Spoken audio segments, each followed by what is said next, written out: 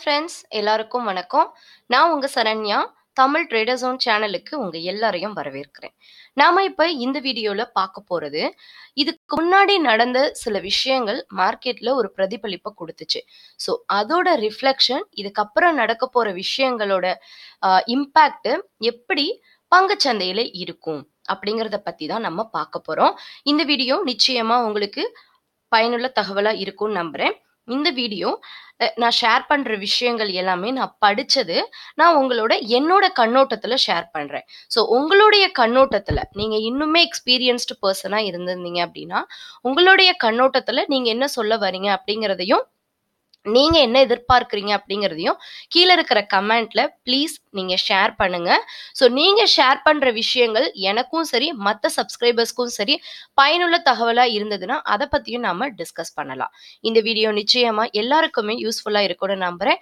So like பண்ணுங்கள் கூடவே உங்கள் ஃப்ரெண்டுங்களோடையும் ஷேர் பண்ணிக்கோங்க. ஸோ கடந்த வாரத்தில் தேசிய அளவில் நடைபெற்ற இரண்டு பெரிய மாற்றங்கள் பங்குச்சந்தை முதலீட்டாளர்கள் மத்தியில ஒரு பரபரப்பை ஏற்படுத்தினதை நம்ம பார்த்தோம். ஸோ அதுக்கப்புறமா ரிசர்வ் பேங்கோட கவர்னர் மிஸ்டர் உர்ஜித் பட்டேல் ராஜினாமா செய்தது. ஐந்து மாநில தேர்தல்களில் பாஜாவுக்கு எதிராக வந்த முடிவுகள் இதெல்லாமே ஒரு முக்கிய காரணமா சொல்லலாம். குறிப்பா மூன்று மாநிலங்களில் பாஜக தோல்வி அடைந்து ஆட்சி மாற்றம் ஏற்பட்டது. ஸோ இதன் காரணமா மத்திய அரசு மீது இருந்த ஒரு நம்பிக்கை வந்து முதலீட்டாளர்கள் மத்தியில ஒரு ஆ ஒரு நெகட்டிவ் தாட் வந்ததுக்கு வந்திருக்கு அப்படின்னு கூட சொல்லலாம். அப்புறம் ஒரு டவுட் வந்திருக்கு அப்படின்னு கூட சொல்லலாம். இதன் எதிரொலியா இரண்டு நிகழ்வுகளின் போதும் பங்குச்சந்தை சட்டென இறங்கி அதுக்கப்புறமா மீண்டு வந்தது. ஸோ இங்க இருந்த பங்குச்சந்தை திங்கட்கிழமை இந்த ரெண்டு நியூஸுக்கு அப்புறமா இங்க பாத்தீங்கன்னா தெரியும் பத்தாயிரத்தி முன்னூத்தி முப்பத்தி மூணு அப்படிங்கிற லோ லெவலை டச் பண்ணுச்சு. ஸோ இந்த இந்த இடத்துல அதாவது என்னைக்குன்னா அக்டோபர் மாதம் முப்பத்தி ஒன்றாம் தேதிக்கு அப்புறம் நவம்பர் மாதம் நம்மளுடைய குரூட் ஆயில் இஷ்யூலாம் ஷார்ட் அவுட் ஆகி இந்திய பொருளாதாரத்தில் நடந்த இந்த ஜிடிபியோட ஏற்றம் நம்ம நல்லா தான் இருக்கோம் இந்தியாவில் ஒரு நல்ல க்ரோத் இருக்குங்கிறத நமக்கு இந்த வரைக்கும் காமிச்சு அதுக்கப்புறம் மாநில தேர்வு ரிசல்ட் எப்படி வரும்ன்ற கருத்து கணிப்புல ஒரு ரிஃப்ளெக்ஷன் ஆரம்பிச்சாலும் இந்த ரெண்டு சடன் நியூஸ் நமக்கு பத்தாயிரத்தி முந்நூற்றி முப்பத்தி மூணு வரைக்கும் கொண்டு போனது ஒரு மறக்க முடியாத விஷயம்.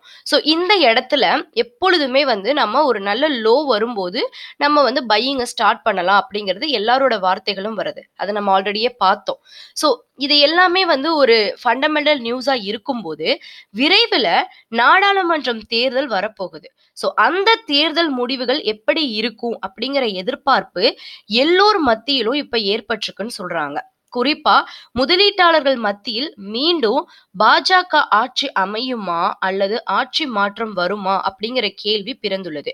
இந்த நிலையில் இனி பங்குச்சந்தையின் போக்கு எப்படி இருக்கும் அப்படிங்கறத குறித்து சில நிபுணர்கள் எக்ஸ்பர்ட்ஸ் வந்து என்ன சொல்றாங்கன்னா RBI governor mister Urjit Patel கடந்த வாரம் தனது ராஜினாமா அறிவிப்பை வெளியிட்டதன் காரணமா இந்திய பொருளாதாரமே ஸ்தம்பித்தது அப்படின்னு சொல்றாங்க. ரிசர்வ் பேங்கோட கவர்னர் ராஜினாமா செய்வதென்பது இந்திய வங்கித்துறையில் முக்கிய நிகழ்வாகும். ஸோ இது வந்து ஒரு முக்கிய நிகழ்வு தான் ஆனா மிஸ்டர் சக்தி அவர் வந்து தாஸ் சார் வந்து அடுத்து கவர்னரா பொறுப்பேற்க போறாரு அப்படிங்கிற நியூஸோட ரிஃப்ளெக்ஷனும் இம்மீடியட்டா வந்து நமக்கு வந்து பங்கு சந்தையில் வந்தது. குளோபல் சப்போர்ட் பண்ணுச்சு. ஸோ எல்லாமே வந்து ஒரு ரீ ஒரு பாசிட்டிவ் ரீசனா இருக்கும். இந்த பத்தாயிரத்தி முன்னூத்தி முப்பத்தி மூணுல இருந்து இந்த சடன் பத்தாயிரத்தி ஐநூத்தி அறுபத்தி ஏழு ஏறினதுக்கு ஒரு காரணமா இருக்கு அப்படிங்கறத கூட நம்ம ஆல்ரெடி பார்த்தோம். மாநில தேர்தல் முடிவுகள் வரத் தொடங்கியதும் பங்குகளை விற்பதில் முதலீட்டாளர்கள் பரபரப்பு காட்டி பின்னர் உடனடியாக அதில் இருந்து மீண்டும் வந்தனர். ஏன்னா நமக்கு தெரியும் இதுதான் கருத்து கணிப்பு நமக்கு ஆல்ரெடி வந்துருச்சு இப்படிதான் நடக்க போகுது அப்படிங்கிறது. ஸோ இது பெரும்பாலான முதலீட்டாளர்களுக்கும் ஒரு குழப்பத்தை ஏற்படுத்திருக்கும் இந்த விஷயம்லாம் தெரியாதவங்களுக்கு. தொடர்ந்து சந்தையின் போக்கு எப்படி இருக்கும்? இந்த நிகழ்வுகள் சந்தையின் போக்கை தீர்மானிக்க கூடியவையாக இருக்குமா? அப்படிங்கிற முக்கியமான கேள்விகள் இந்த கேள்விக்கான பதில்ல இருக்கும்னு சொல்றாங்க. ஸோ அதை பத்தி தெரியாதவங்களுக்கு ஃபர்ஸ்ட் ரிசர்வ் பேங்க் ஆளுநரோட ராஜினாமாவை பத்தி என்ன சொல்றாங்கன்னா உலக அளவுல federal reserve bank of Japan the bank of England இவங்க எல்லாமே வந்து ஒரு தன்னாட்சி பெற்ற மத்திய வங்கிகள். இந்தியாவில் ரிசர்வ் வங்கி தன்னாட்சி பெற்றதுன்னு சொல்லப்பட்டாலும் நடைமுறையில அப்படி கிடையாது அப்படிங்கிறது நமக்கு ஒரு ரெண்டு மூணு மாசமாவே இந்த கான்ட்ரவர்சி ஓடிட்டு தான் இருக்கு. ஸோ இந்திய பொருளாதாரத்தின் முக்கிய கூறாக பார்க்கப்படும் ரிசர்வ் வங்கி பெரும்பாலும் தன்னிச்சையா செயல்பட முடிவதில்லை.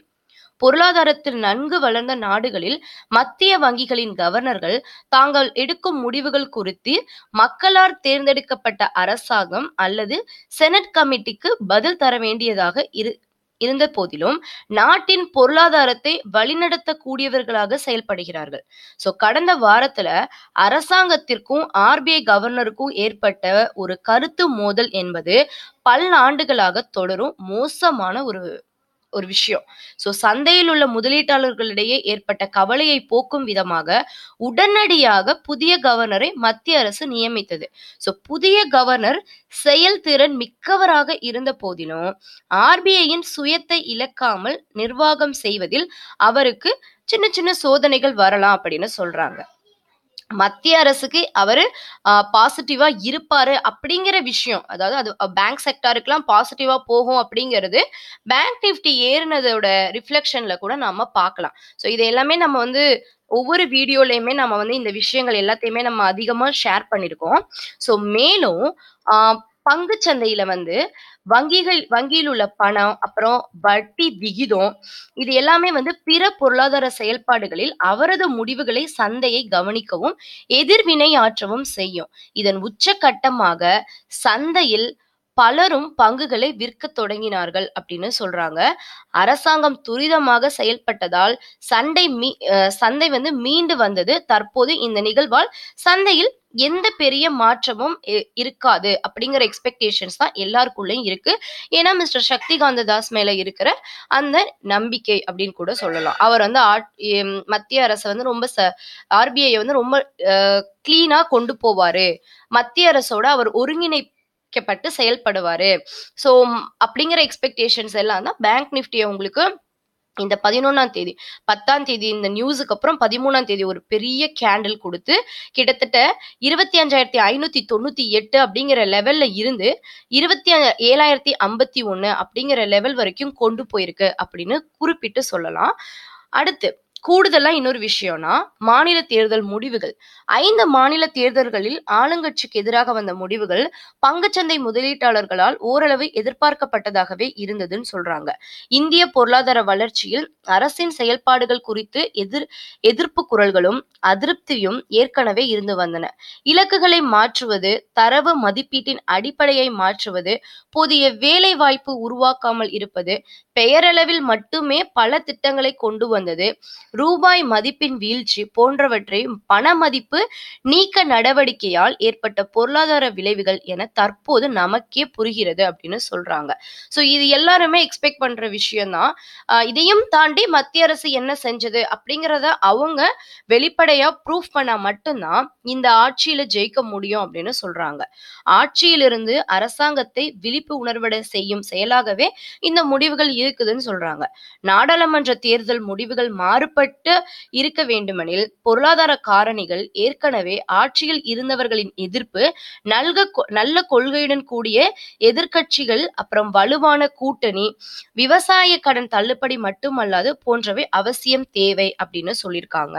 சோ ஐந்தாண்டு கால ஆட்சியின் இறுதி கட்டத்தில் இருக்கும் மத்திய அரசிடம் இருந்து பெரிய கொள்கை மாற்றம் எதையும் இப்போது எதிர்பார்க்க முடியாது. இப்போது நடக்கும் அரசு அரசியல் விளையாட்டுகள் குறித்து நன்கு ஆராய்ந்த பின்பே முதலீட்டாளர்கள் செயல்பட வேண்டும் அப்படின்னு சொல்லியிருக்காங்க. இது கவனிக்கத்தக்க ஒரு விஷயமா இருக்கு.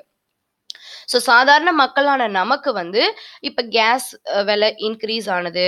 அதுக்கப்புறமா வந்து பண மதிப்பீட்டு நேரத்தில் நம்ம பட்ட அந்த சின்ன சின்ன பெரிய கஷ்டங்கள் இதெல்லாமே வந்து நம்ம மைண்டில் இருந்தாலும் பொருளாதார ரீதியா வேர்ல்ட் வைட்ல இருந்து இந்தியாவை பார்க்கும்போது பல விஷயங்கள்ல நம்ம முன்னேற்றம் அடைஞ்சிருக்கோம் அப்படின்னு நம்மளுடைய ஃபினான்ஷியல் மினிஸ்டரும் சரி மத்திய அரசும் சரி பல விஷயங்களை கொண்டு வருது. ஸோ இப்போ எடுக்க போற பிப்ரவரி மந்த் வரப்போற அந்த பட்ஜெட்ல கூட எப்படி முன்னேற்றங்கள் போகும் அப்படிங்கிறத நம்ம எதிர்பார்க்கலாம். இது எல்லாத்தையுமே நம்ம மைண்ட்ல வச்சுக்கணும் அப்படின்னு சொல்லியிருக்காங்க. ஸோ இது எல்லாமே நம்ம கம்பல்சரி யோசிக்க வேண்டிய ஒரு விஷயமா இருக்கு.